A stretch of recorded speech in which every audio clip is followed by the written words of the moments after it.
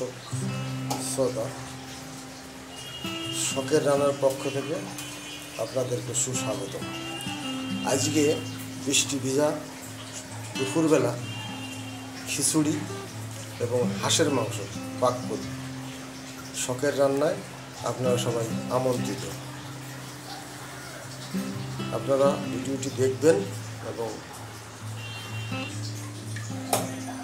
মরিচ চার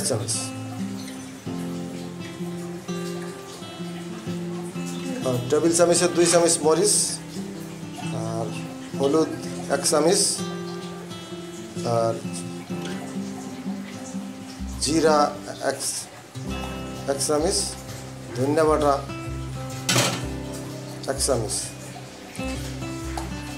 তারপরে পেঁয়াজ বাটা তিন চামচ আদা বাটা তিন তিন চামচ রসুন বাটা রসুন বাটা দুই টেবিল চামচ।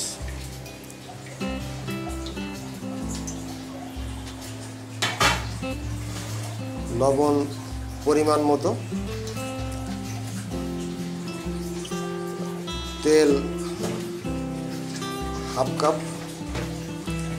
দিয়ে ভালোভাবে ম্যানিটুর করতে হবে। ভালোভাবে মাইখা মাখার পরে ভালোভাবে মাখার পরে এটাকে আমরা আজ বৃষ্টি ভিজা দিনের একটা রেসিপি আমি এবং আমার মিসেস দুইজনে মিলে আজকের রেসিপিটা করতেছি। সম্মানিত বিহস বিশ মিনিট এটাকে মাইখে রাখতে হবে। হাফ কাপ তেল লাইকানে দেওয়া দেওয়া হলো। তেল গরম হওয়া পর্যন্ত আমরা অপেক্ষা করব।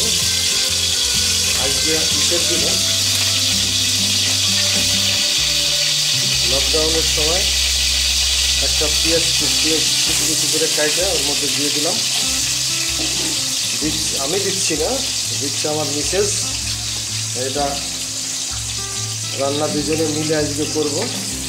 খিচুড়ি এবং ঘোনা হাঁসের মাংস। ঘোনা হাঁসের মাংস কীভাবে করতে হচ্ছে এটা উপকরণগুলো আপনাদেরকে দেখাইলাম। এখন এটা বিশ মিনিট হয়ে গেছে। আর এটা লাল, একটু লাল হতে হবে পেঁয়াজগুলো। পেঁয়াজ আস্তে আস্তে লাল হচ্ছে। আমরা পেঁয়াজ আস্তে আস্তে পেঁয়াজগুলো লাল হচ্ছে। এখন পাঁচটা এলাচ, দারচিনি পাঁচ ছয়টি। দুই টুকরা দারচিনি। দারুচিনি দুই টুকরা সুন্দরভাবে এটাকে আমরা ভাজিয়ে নিচ্ছি। লং পাঁচ ছয়টি দিচ্ছি। ভাজার পরে আমরা এটা লাল লাল হয়ে গেলে ইয়েগুলো ছেড়ে দেবো মাংসগুলো। লাল হওয়া লাল হওয়া পর্যন্ত অপেক্ষা করতে হবে। ম্যারিনেট করা মাংসগুলো এখন ছেড়ে দিচ্ছে। বিশ ম্যারিনেটের পরে মাংসগুলো আমরা পেঁয়াজ লালের লাল হয়ে গেছে, ভাজা। পেঁয়াজের মধ্যে দিয়ে দিচ্ছি। দিয়ে দেওয়ার পরে আমরা এটা ভোনা করব। আজকে বৃষ্টি ভিজা দিনে হাঁসের মাংস। সকালবেলা বাজার থেকে হাঁস কিনে নিয়ে এসেছি। কিনে এনে এটারে ওইখান থেকে ড্রেসিং করে নিয়ে আসছি। পরে বাসায় এনে এবারে আবার আমরা সব কিছু ইয়ে করছি।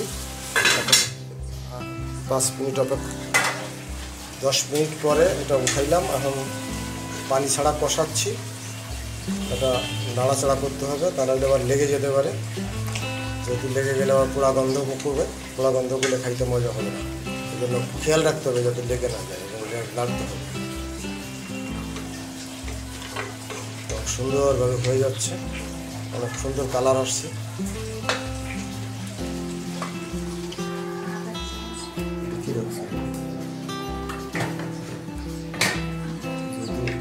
হাঁসের মাংসের সাথে আমরা পাঁচ মিশরি ডাল দিয়ে ভুনা খিচুড়ি করি। সাথে ভুনা খিচুড়ি, এক বা তিন চামচ হচ্ছে এক চামচ পেঁয়াজ এক টেবিল চামচ পেঁয়াজ, এক টেবিল চামচ আদা, এক টেবিল চামচ রসুন।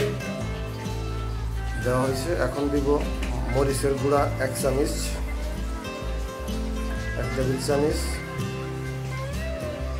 তারপরে হচ্ছে ধনিয়ার গুঁড়া এক টেবিল চামচ।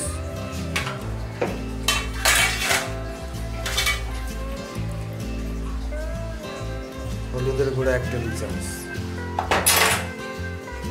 এটা ভালো করে ম্যারিনেট করতে হবে। তেল হাফ কাপ।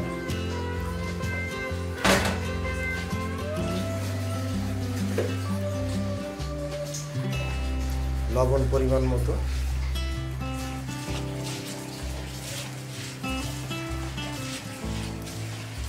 দিয়ে মাখতে হবে। সুন্দর মতো মাখতে হবে। মাখাটাই হচ্ছে সবচেয়ে সুন্দর যেহেতু সুন্দর মাখা না হলে খাইতে অত বেশি মজা হবে না। এই জন্য মজা করে খাইতে করতে হলে ভালো করে মাখতে হবে। মাখা শেষ, এখন আমরা পেঁয়াজ, রসুন কাইটে আবার এটার মধ্যে কিছু দিতে হলো না দিলে মজা কম হবে। দুইটা তেজপাতা, এক টুকরা দারুচিনি।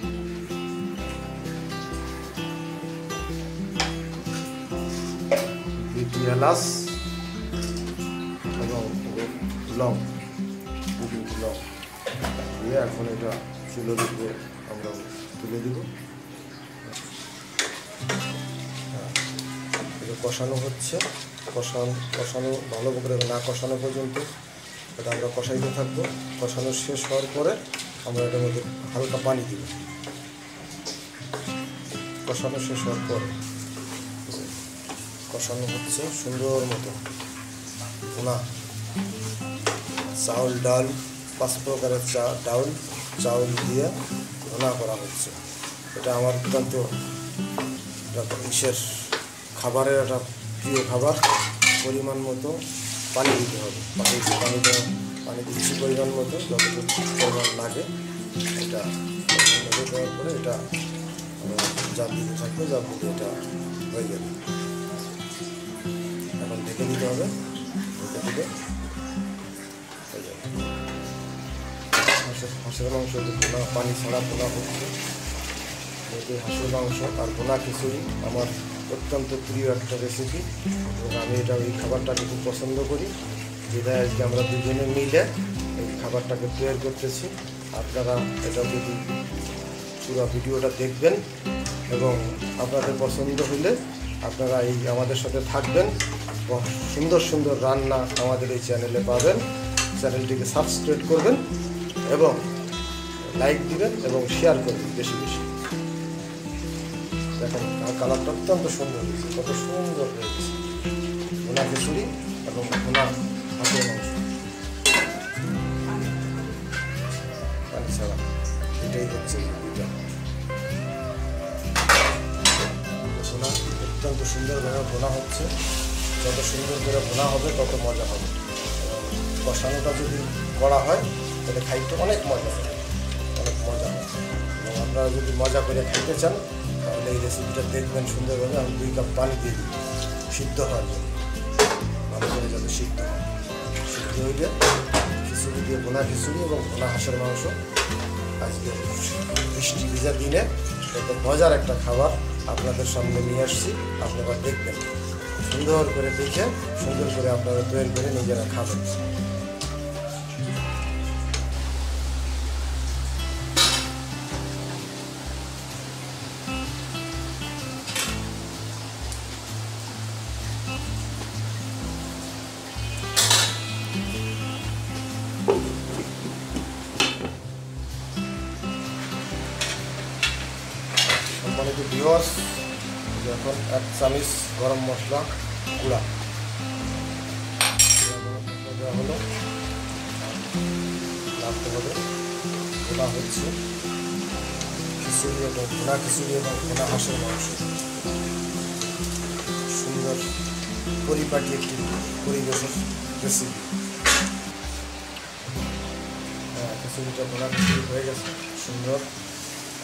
অত্যন্ত সুন্দর কালার হয়েছে, কাঁচা মরিচ দেওয়া হয়েছে।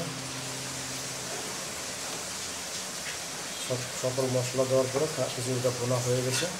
এখন পরিবেশন করলে।